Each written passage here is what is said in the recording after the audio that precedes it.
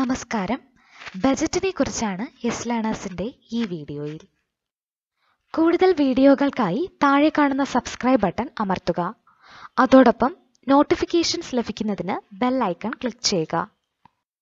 P S C പരീക്ഷകളുടെ syllabus മുൻകാല ചോദ്യപേപ്പറുകൾ എന്നിവ ലഭിക്കുന്നതിന് ഞങ്ങളുടെ website W W W dot S learners dot com സന്ദർശിക്കുക. ഒരു സാമ്പത്തിക വർഷത്തിൽ പാർലമെന്റിൽ ഗവൺമെന്റ് നടത്തുന്ന പ്രതീക്ഷിത വരവ് ചെലവുകളെക്കുറിച്ചുള്ള പ്രസ്താവനയാണ് ബജറ്റ്.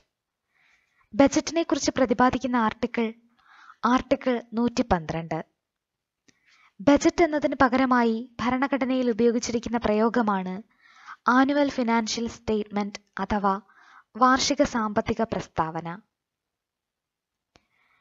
ഇന്ത്യയിൽ സാമ്പത്തിക വർഷം ആരംഭിക്കുന്നത് ഏപ്രിൽ ഒന്ന് മുതലാണ്. ഇന്ത്യയിൽ സാമ്പത്തിക വർഷം മാർച്ച് മുപ്പത്തിയൊന്നിന് അവസാനിക്കുന്നു. സാമ്പത്തിക വർഷം ജനുവരി മുതൽ ഡിസംബർ വരെ ആക്കാൻ തീരുമാനിച്ച സംസ്ഥാനമാണ് മധ്യപ്രദേശ്. കേന്ദ്ര ബജറ്റ് എല്ലാ വർഷവും ഫെബ്രുവരിയിലെ അവസാന പ്രവൃത്തി ദിവസം ധനമന്ത്രി ലോക്സഭയിൽ അവതരിപ്പിക്കുന്നു. രാഷ്ട്രപതി ഭരണത്തിന് കീഴിലുള്ള സംസ്ഥാനങ്ങളുടെ ബജറ്റ് അവതരിപ്പിക്കുന്നത് ലോക്സഭയിലാണ്.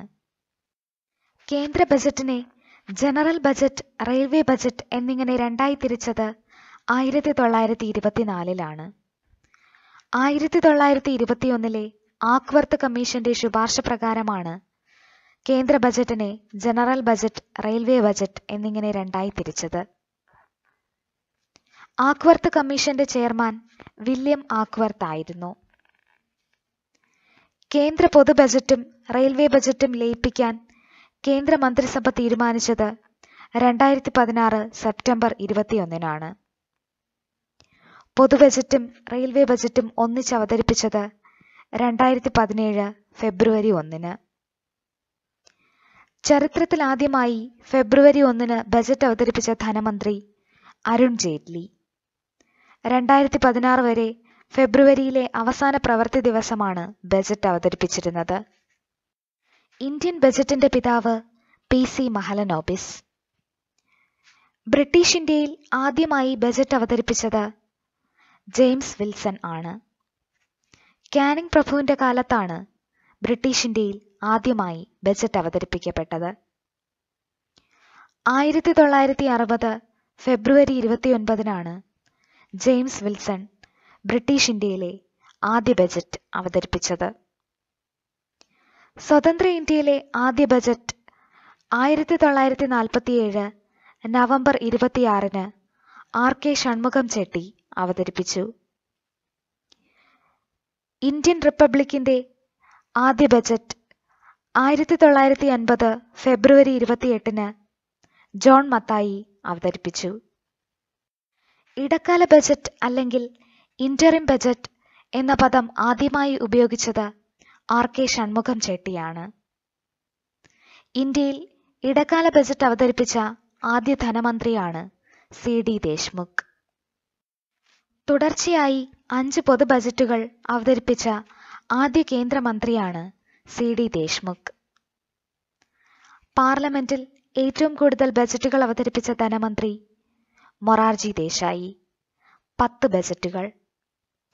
ജന്മദിനത്തിൽ ബജറ്റ് അവതരിപ്പിച്ച ഒരേയൊരു ധനകാര്യമന്ത്രിയാണ് മൊറാർജി ദേശായി.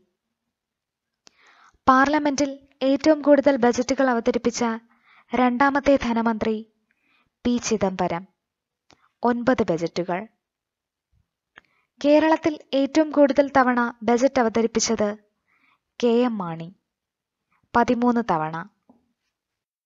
പാർലമെന്റിൽ ധനകാര്യ ബജറ്റ് അവതരിപ്പിച്ച ഏക വനിത ഇന്ദിരാഗാന്ധി. ഇന്ത്യയിൽ ആദ്യമായി ബാങ്കുകൾ ദേശസാൽക്കരിച്ചപ്പോൾ ധനമന്ത്രിയായിരുന്നത് ഇന്ദിരാഗാന്ധി.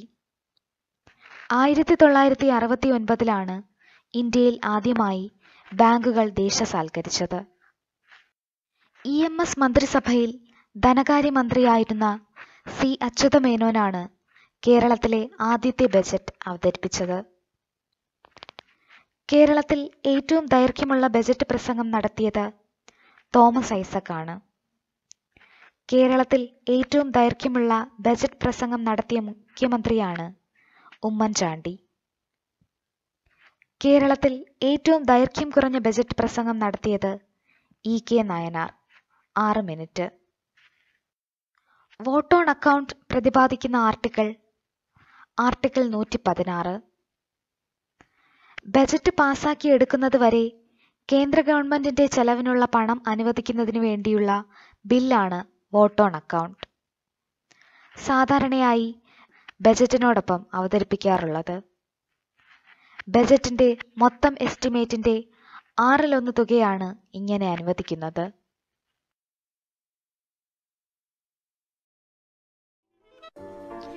ഈ വീഡിയോ ഇഷ്ടമായെങ്കിൽ ഷെയർ ചെയ്യുക.